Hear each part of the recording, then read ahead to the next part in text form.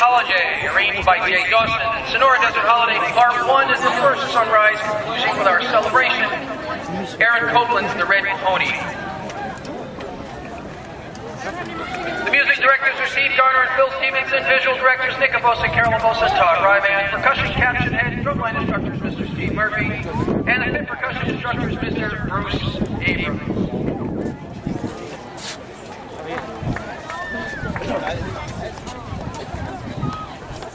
You'll notice her. In front of that, you see the big guy at the end here?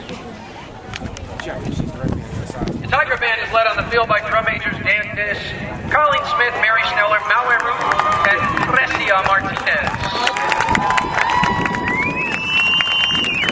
Are the judges ready? The judges are ready. Somebody's got to plug that thing in. is your band ready?